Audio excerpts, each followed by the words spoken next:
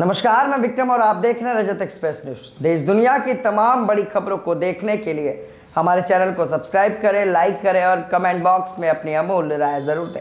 आइए आपको दिखाते हैं इस वक्त की सबसे बड़ी खबर।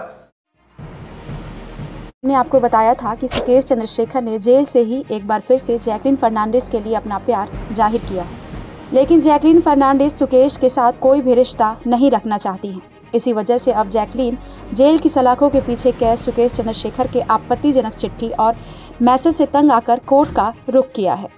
जैकलीन ने इसकी वजह से खतरे का अंदेशा भी जताया है और कोर्ट से राहत की मांग की है। उन्होंने साफ़ किया कि उनका ये फैसला सुरक्षा के मद्देनजर लिया गया है।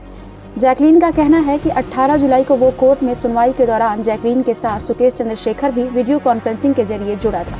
इसी दौरान सुकेश चंद्रशेखर की ओर से उन्हें आपत्तिजनक वॉइस नोट और मैसेज मिला। इसके अलावा जैकलीन फर्नांडिस का ये भी कहना है कि सुकेश चंद्रशेखर जिस तरीके से मीडिया में चिट्ठी जारी करता है और जिस तरीके के शब्दों का वो इस्तेमाल करता है, वो उनकी छवि को नुकसान पहुँचा रहे हैं। इतना ही नहीं, इसकी वजह से उनकी सुरक्षा को भी खतरा पैदा हो गया है। जैकलीन का कहना है कि उन्होंने पुलिस और जेल अथॉरिटी से शिकायत भी की, पर इस मामले पर कोई भी कार्रवाई नहीं हुई है। लगातार सामने आ रहे आपत्तिजनक चिट्ठी से परेशान होकर जैकलीन ने कोर्ट से मांग की है कि वो जेल अथॉरिटी और पुलिस को निर्देश दे ताकि सुकेश चंद्रशेखर किसी भी प्रकार से उन्हें पत्र ना भेज सके।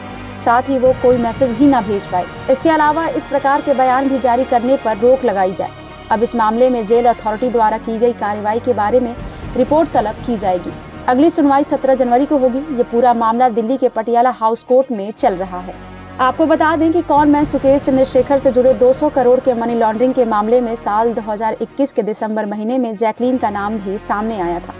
इसके बाद ईडी की जाँच में जैकलीन को भी आरोपी बनाया गया। इस मामले में एक्ट्रेस से कई बार पूछताछ भी की गई है, जिसमें सामने आया कि जैकलीन सुकेश के साथ रिश्ते में थी और जेल में उससे मिलने जाया करती थी।